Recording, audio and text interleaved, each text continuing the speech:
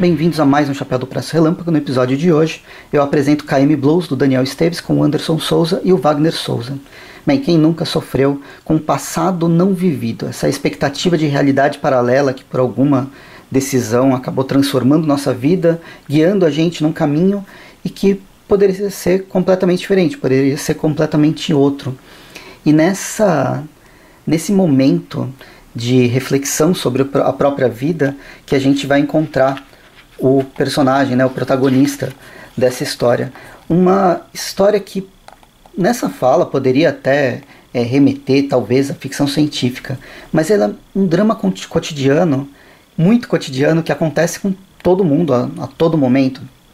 Pensar naquela vida não vivida e tentar, pelo menos em memória, recuperar aquilo que nunca, que nunca aconteceu. O protagonista, nesse caso, ele é um músico frustrado, ele está em crise de meia-idade, tem 40 e poucos anos. E aí, as primeiras páginas aqui, ele está, na verdade, largando a esposa dele para tentar reviver uma paixão que teve durante a juventude.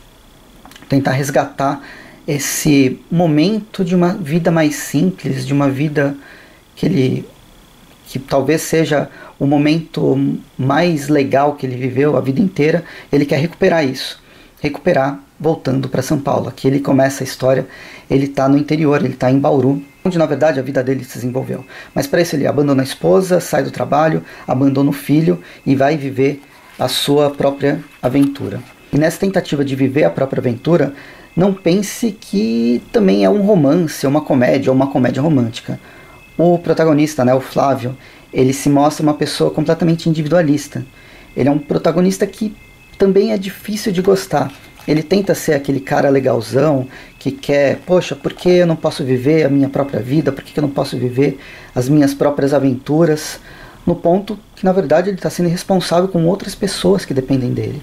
E é um, um, a partir do momento que ele volta para São Paulo e a gente começa a conhecer um pouco dessa vida pregressa, o leitor percebe que, bem, essa irresponsabilidade com o sentimento das outras pessoas é uma coisa bastante presente ao longo de toda sua trajetória. Então ele acabou prejudicando muito a vida de várias pessoas em torno dele.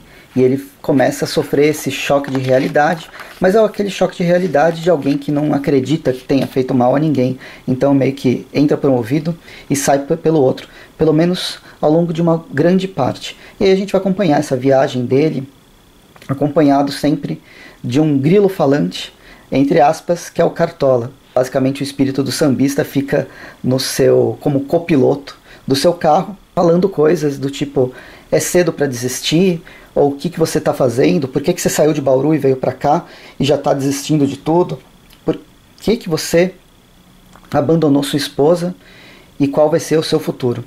Bem, essa é, essas inserções, esses questionamentos, é porque o Cartola é um dos é, músicos que fazem que o, o, o, Flávio mais gosta, né, que tem que a, ajudou a formatar a sua vida e a sua arte, mas que também foi abandonado ao longo do caminho.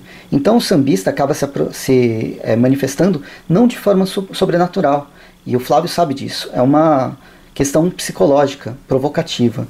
E a publicação dessa revista agora, que saiu pelo Catarse, também é um retorno do, ao passado, pelo menos um retorno menos individualista, dos três artistas, né, do Daniel Esteves, do Anderson Souza e do Wagner Souza, que lançaram essa revista em 2012 e foi a partir dela e alguns prêmios que eles conquistaram que basicamente definiu o futuro deles no mundo dos quadrinhos.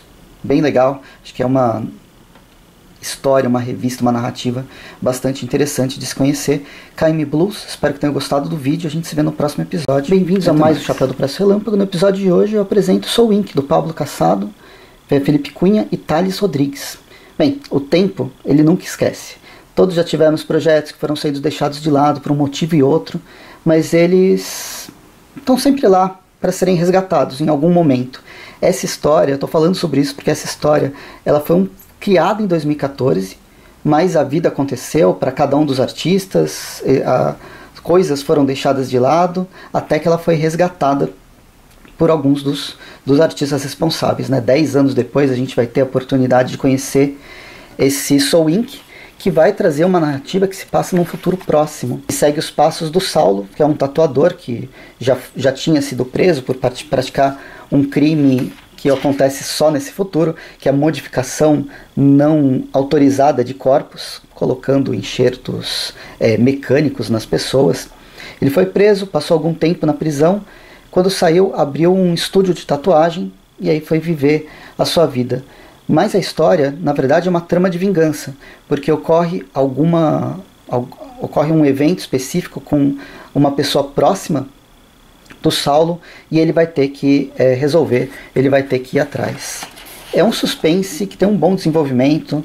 É, os personagens, eu acho que eles têm, mesmo sendo tendo pouco espaço, né, tendo sendo uma história curta, dá para se apegar, pelo menos com o protagonista e com as questões que são trazidas através do cenário, um cenário bem legal que dá para ter um desenvolvimento ainda maior. E ele caminha muito na linha do Black Mirror, né, com a tecnologia sendo sutil de certa forma, mas crucial nas relações humanas. Eu acho que tem muita influência né, do que estava acontecendo naquela época, né, em 2014.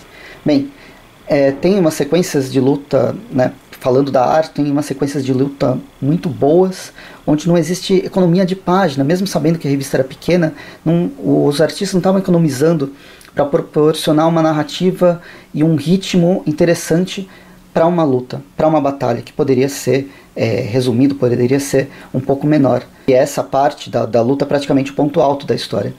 Porém, alguns momentos ela parece meio apressada. Tem dois trechos específicos que parece que tem um salto é, de temporal e me passou a sensação de faltar algo. Inicialmente era para ser uma série, eles estavam pensando como uma série mais longínqua e que foi resumida em apenas uma edição. A história tá legal, a história se completa, mas eu acho que daria com mais páginas seria melhor, poderia ser melhor desenvolvido. Enfim, esse foi Soul Inc. Espero que tenham gostado. Bem-vindos a mais um Chapéu do Preço Relâmpago. Dessa vez eu trouxe Enigma do Western, com, estrelando o Kid Bill, da JP Animation, né, do João Paulo. Aqui, depois de várias vários sci-fis, várias fantasias, ele resolve pegar o Western. Mas é um Western é, bastante específico, com armas laser e tal justamente pegando mais uma vez num cenário um pouco mais sci-fi. Aqui a gente vai ter uma história é, que eu achei, eu gosto bastante da, das histórias do, do JP. Ele, ele trabalha de uma forma simples, narrativa simples, mas com uma pegada bem contada, sabe? É uma história, as, as, histórias são sempre bem contadas, sempre trazem elementos interessantes. Aqui com essa mistura de western com o, o sci-fi que funciona é, muito bem. Na história a gente vai acompanhar justamente Kid Bill, um homem que está sendo caçado por caçadores de impostos pelas pradarias desertas de um Brasil futurista. A gente identifica principalmente por alguns nomes como o Deserto do Anhanguera, o, o Desfiladeiro do Tietê. Basicamente, o roteiro desse western, ele lembra uma ambientação do planeta dos macacos. Claro que não tem nenhum macaco, nenhuma criatura nesse sentido, mas lembra esse tipo de deserto apocalíptico que eu é, a gente tinha no Planeta dos Macacos. O desenvolvimento eu achei ele bem feito, ele tem cenas, uma cena de ação inicial que depois vai ser retomada narrativamente mais para o final, que é uma forma é, interessante de começar a história. Né? A gente vai conhecer através do flashback, um flashback inclusive orgânico, a trama, essa continuidade, os motivos dessa, dessa perseguição. Bom, a única coisa que eu não gostei muito foi esse não acabamento, ou o acabamento que ele deixou em aberto. Uma escolha estética, obviamente, já vi outros trabalhos, já mostrei outros trabalhos dele aqui, por deixar essa. Aqui nesse caso ele deixa essas linhas guia do desenho mais evidentes, na construção das cabeças dos personagens, principalmente. Ainda que não vai atrapalhar a leitura, obviamente, mas ela. Eu não, não gostei desse excesso de excesso dos detalhes de produção na, na obra na obra final, né, no formato final que foi apresentado. Enfim, bom, uma revista de western, sci-fi, com bom é, ritmo narrativo e ação, e ação e tiroteio como qualquer western. É isso, espero que tenham gostado, a gente conversa nos comentários e até o próximo episódio.